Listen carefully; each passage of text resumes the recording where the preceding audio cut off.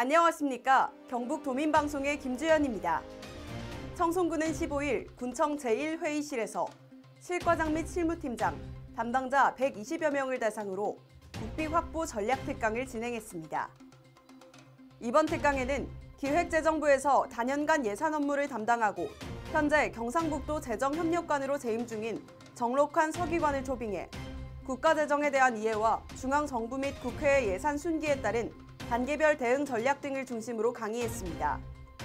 또한 정부 정책에 부합하는 지역의 신규 사업 발굴, 중앙부처 설득을 위한 당위성 확보, 사전 절차 이행 등 국비 확보 준비 절차 등 실무와 직접 관련된 구체적인 사례도 소개했습니다.